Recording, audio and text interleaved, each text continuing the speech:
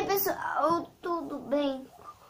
Vocês no vídeo de hoje eu vou mostrar os meus cavalos pequenos.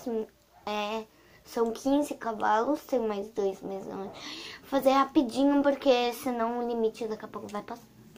Aqui tem a Paloma, né? Botem também uh, sugestões de... Ai, de raça.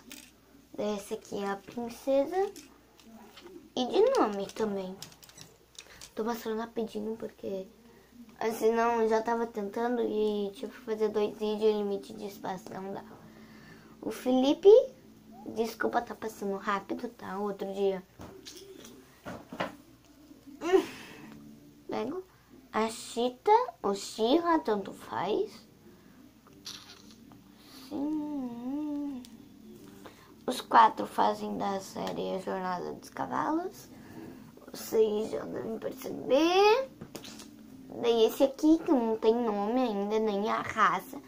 Não sei nem a raça pra botar de todo mundo. Ah, fica caído mesmo. Tem esse aqui, que também não tem nome e raça. Eu acho que eu vou pintar ele de apalusa. Eu faço um vídeo pintando eles, né? Aí tem esse, que se tu olhar assim, ele é muito parecido com o Spirit. E eu acho que eu vou pintar ele bem parecido. Pelo menos um, com a cor do Spirit. Daí tem esse laranja também. Muito lindo, só que eu acho que eu vou pintar de preto. A crina. Tem esses dois pequenininhos, esse vermelho. Tem umas coisinhas peludas. Que nem esse aqui, que tem umas coisas peludas. E esse. E que tem umas coisinhas, tem as patas peludas. E tem esse outro laranja. Você já deve imaginar que são filhos dos outros dois. Daí tem os gêmeos.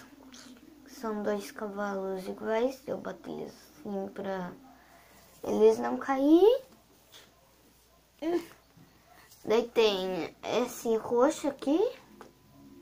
Né? Esse marrom. E esse aqui. Daí. Vou mostrar ele direitinho agora. Todos. Aqui. Aqui. Sim. Daí fica aqui. Não, você aqui. Sim, Foi o único jeito.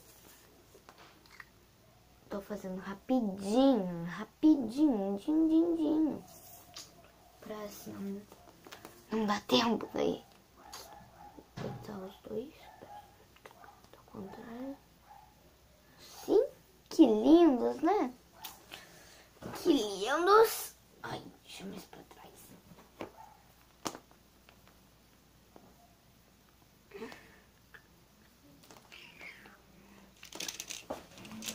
É, deixar a paloma aqui na frente. Sim, a princesa vem aqui. Assim que vai ser entrando, né? Vai ser Daí aqui fica os dois. Felipe e a Xirra, o Chita.